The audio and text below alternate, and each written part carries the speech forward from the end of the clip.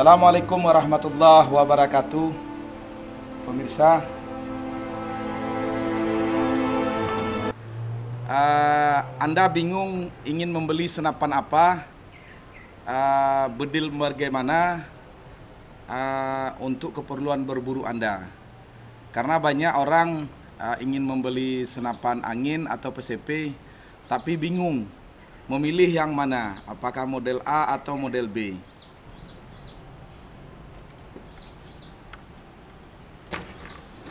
bagi setiap orang mempunyai hobi yang berbeda-beda. Ada orang membeli senapan, dia ingin senapannya itu berbentuk gagah, mirip dengan senapan api, kelihatan seram, lengkap dengan senternya, lasernya, bipodnya, uh, bahkan semua embel-embelnya, bahkan termasuk dengan regulator. Dan juga ada bagian sebagian orang membeli senapan uh, senapan sibuk dengan menembak kertas. Uh, ada sebagian orang membeli senapan sibuk dengan berburu. Apakah berburu burung ataupun berburu babi. Ada sebagian orang membeli senapan hanya untuk koleksi. Koleksi. Setiap orang bebas. Apakah untuk menembak kertas, uh, mengkostum senapannya atau untuk kepentingan berburu. Ada setengah orang ingin sekali senapan yang uh, berkelas. Saya memberi tips sedikit uh, bagaimana cara Anda membeli sebuah senapan yang bagus sesuai dengan selera Anda. Karena mengingat senapan PCP itu harganya mahal, uh, sekali beli uh, tentu Anda akan sangat menyesal jika salah. Apalagi sistem pembeliannya online sekarang. Banyak barang yang sampai tapi tidak sesuai dengan selera. Yang perlu Anda perhatikan adalah tanya dulu ke hati Anda, untuk apa saya membeli sebuah senapan? Untuk apa saya membeli sebuah senapan? Kalau sebuah senapan itu saya beli tujuannya adalah uh, untuk menembak kertas atau menembak target untuk kejuaraan, atau saya membeli senapan untuk menembak burung atau small game atau saya membeli senapan hanya untuk gengsi-gengsian atau saya membeli senapan untuk berburu babi, rusa atau istilah lain uh, big game. Saya memberikan tips bagaimana Anda membeli senapan. Misal ketika Anda ingin membeli sebuah senapan yang tujuannya adalah untuk kejuaraan apakah kelas hunting atau kelas angklik. Anda boleh beli senapan angklik biasa seperti uh, merek-merek uh, yang sudah biasa seperti Sub Innova atau Canon atau HW7 yang sudah standar di kelas hunting atau kelas angklik. Itu biasa. Atau Anda ingin membeli senapan uh, untuk berburu burung. Kalau Anda ingin membeli senapan untuk berburu burung, uh, yang jarak burungnya uh, sekitar 50 meter atau lebih, saya menyarankan kalau 50 meter ke bawah, saya menyarankan Anda pakai saja angklik. Kan tidak mungkin uh, Anda membeli menembak seekor burung uh, dengan memakai peluru uh, kaliber besar. Jadi Anda pakai saja angklik yang kaliber 45 atau kaliber 177 atau Anda beli PCP kaliber 177. Powernya cukup sekitar 700 atau 800 uh, fps dan pakai kaliber 177. Tidak mungkin Anda menembak seekor burung kecil atau burung perkutut atau burung punai dengan memakai kaliber 25 atau kaliber uh, 5,5. Karena satu kaleng peluru kaliber 55 atau 25 atau 9 mili uh, itu harganya sangat mahal bisa membeli satu senapan angklik. Dan perkenaannya kepada burung kecil pun hancur, dagingnya tidak bisa Anda makan. Jadi cerdaslah dalam membeli senapan. Kalau untuk memang eh, Anda membeli senapan burung, ya pakailah seperti itu.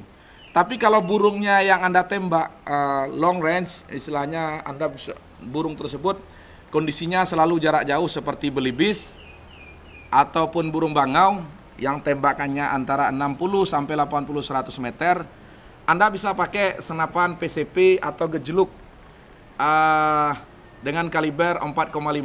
Tapi yang penting Anda perhatikan adalah jangan Anda lihat bentuk senapan. Yang terpenting Anda beli adalah akurasi sebuah senapan. Larasnya Anda beli harus sangat teliti. Karena apa? Cobalah Anda tembak lima kali, usahakan senapan tersebut adalah nitik, paling tidak grouping. Jangan sampai pelurunya pesiar, Anda akan menyesal. Pakai saja satu kaliber 177. Anda bisa beli uh, tabung yang besar seperti senapan bocap karena untuk hunting burung Anda dibutuhkan uh, tembakan yang banyak. Tembakan yang banyak. Uh, bisa Anda beli seperti jenis gejuluk, uh, PCP. Uh, saran saya pakai saja yang tabung besar. Karena tabung besar bisa volume angin lebih besar dan Anda tidak perlu mengabrek uh, uh, powernya lebih besar. Jadi cukup dengan 700-800 fps kalau untuk Anda berburu uh, burung. Itu. Anda tidak perlu membeli kaliber besar dan Anda tidak perlu membeli senapan yang powernya cukup kuat. Karena kenapa? Hobi Anda hanya memang untuk berburu burung. Sama dengan ketika Anda hobi berburu menembak target dan uh, menembak uh, lesan kertas. Anda tidak perlu power yang besar, tapi akurasi senapan yang dibutuhkan. Uh, bagaimana kalau Anda ingin uh, sekali-kali berburu burung, sekali-kali ingin uh, masuk zona big game? Uh, saran saya Anda bisa pakai senapan sejenis PCP atau gejluk. Karena pada senapan gejluk dia ada berapa kali klik itu, ada satu, dua, tiga, bahkan ada lima klik. Jadi kalau Anda ingin menembak burung, ya tariklah sekali klik saja. Tapi kalau Anda berniat masuk small game, uh, middle game, Anda bisa tarik sekali atau dua kali atau tiga kali. Uh, juga pada PCP ada setelan powernya. Uh, pada setelan powernya. Jadi kalau anda anda main di medium game, anda bisa pakai PCP uh, atau gejluk dan anda tidak perlu membeli senapan angklik karena uh, anda sedikit membutuhkan power yang lebih besar. Nah, bagaimana kalau seandainya uh, kita membeli senapan tapi tujuannya adalah big game? Saran saya, anda juga harus membeli senapan uh, PCP dan Anda juga bisa membeli senapan gejluk. Karena PCP ini memungkin atau gejluk memungkinkan untuk di abrix powernya di atas 1200 fps uh, atau bisa di di abrix uh, larasnya sampai kaliber uh, 25 yang paling standar 25 mili uh, uh, sampai 25 mili uh, Senapan seperti ini eh, yang terpenting adalah powernya. Sebenarnya tidak masalah power uh, kaliber 45 ataupun power kaliber 55 atau kaliber 25, tidak masalah. Yang terpenting senapan untuk big game power dan akurasinya. Karena ketika Anda menembak rusa dan menembak babi yang diasumsikan jarak 30 sampai paling jauh 50 meter, itu yang penting adalah titik spotnya titik spotnya. Jadi kalau untuk PCP uh, dan gejluk uh, ini bisa diabrek. Nah, tipe PCP bagaimana yang enak untuk abreknya? PCP itu ada berapa macam uh, sistemnya? Ada yang sistem air am yang uh, magazinnya itu uh, berputar ketika disungkit, ada yang moroder magazinnya pakai per, ada yang single shoot seperti gejluk, uh, Luger ataupun senapan Moser.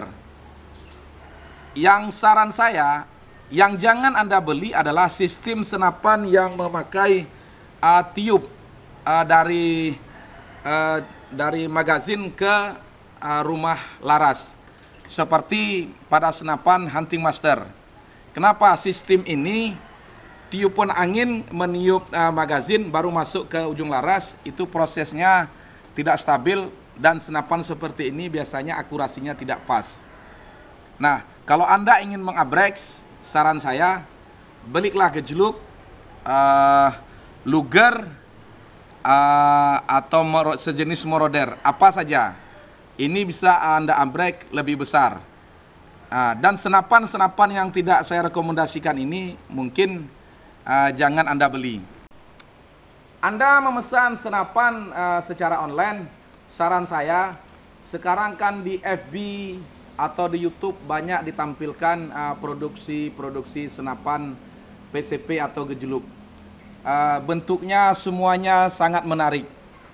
Anda bisa melakukan cross check, uh, bertanya kepada teman-teman Anda yang sudah pernah membeli.